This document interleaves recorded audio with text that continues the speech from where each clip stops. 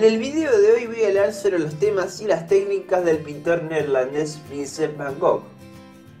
Se sabe que Van Gogh dibujaba y pintaba acuarelas cuando era muy joven, pero fue a sus 27 años que empezó a crear obras de arte con más frecuencia. Sus primeras obras eran de un color muy oscuro y los temas eran sobre la clase obrera, inspirado por el pintor francés Millet. Por algún tiempo sigue haciendo dibujos y acuarelas, pero en 1885 crea la obra Los comedores de patatas. Esta es su primera gran obra, aunque sigue con el estilo anteriormente mencionado. Al año siguiente empieza a haber un cambio en su obra. Hay más paisajes, bodegones, autorretratos y en sus pinturas hay colores más claros. Al momento ya está en París y es influido por el impresionismo, puntillismo y las estampas japonesas, los cuales adopta elementos. En 1888 se muda a la ciudad de Arles e intenta crear un taller de artistas al cual invita a varios artistas de la época, pero el único que acepta es el pintor Paul Gauguin. En este tiempo, el simbolismo ingresa en la obra de Van Gogh, por ejemplo, en su obra más famosa, Los girasoles.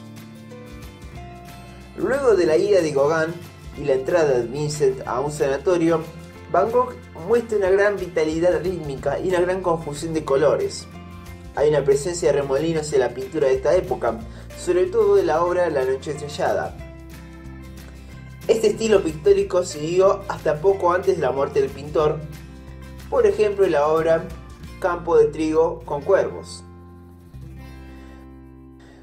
Van Gogh formó parte del post-impresionismo y es considerado uno de los precursores del expresionismo.